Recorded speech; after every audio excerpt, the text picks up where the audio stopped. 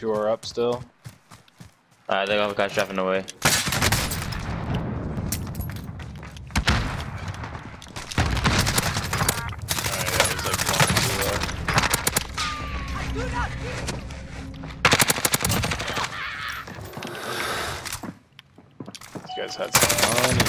I'm ridiculous. I'm literally ridiculous.